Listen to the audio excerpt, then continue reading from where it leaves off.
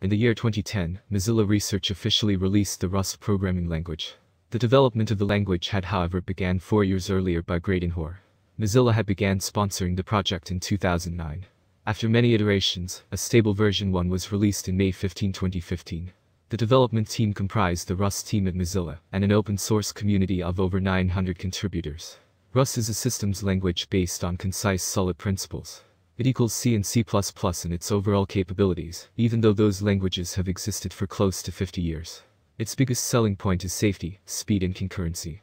These features are difficult to find in any single language, and this lifts Rust above a multitude of programming languages.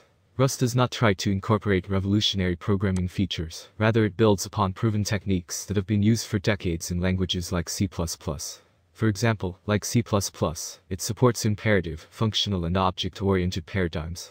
It is statically typed, however unlike Java, but like C Sharp, it supports type inference. While it can match idiomatic C++ in performance, Rust is much safer. It does this by forbidding the user of code that can cause program crashes due to memory problems. Furthermore, Rust has a built-in support for concurrency on multi-core machines. With Rust concurrency is much safer.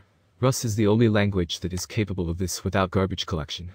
Rust also eliminates the corruption of shared data through concurrent access, which is also known as data races. Mozilla the official creator of Rust, is a company known for its drive on the evolution of the web based on open standards. It is the creator of Firefox, one of the most popular browsers in the planet.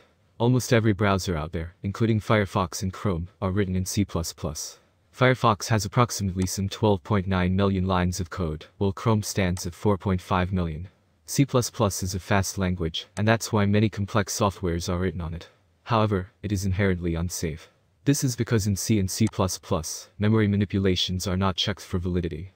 If the code is written without the utmost programming discipline on the part of the developers, then program crashes, memory leaks, segmentation faults, buffer overflows, and null pointers can occur at program execution.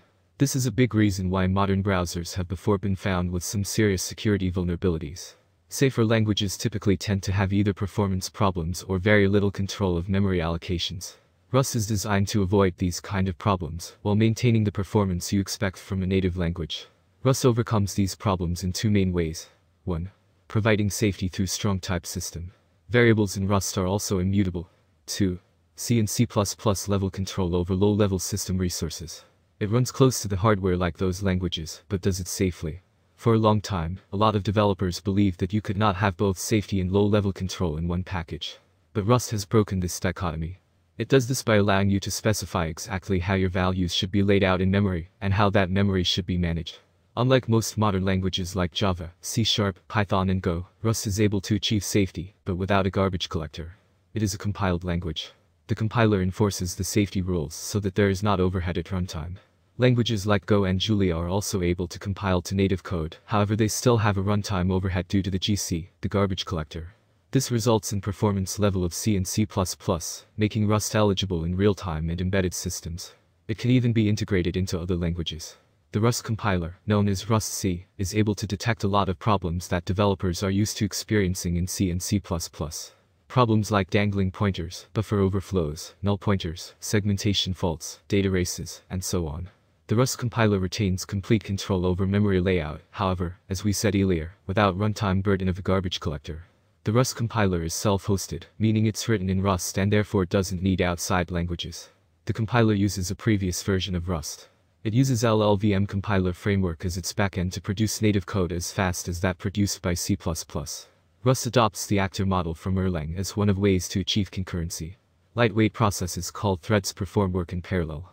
They do not share heap memory, but communicate data through channels, and data races are eliminated by the type system. Thus programmers are able to leverage the ever-increasing number of cores in modern computing devices. Rust is portable and runs on a multitude of hardware and software platforms like Linux, Windows, Mac OS X, FreeBSD and iOS. It can call C code easily and vice versa. Please remember to subscribe to our channel. Also click the bell icon so that you are notified of our future content. Have a good day.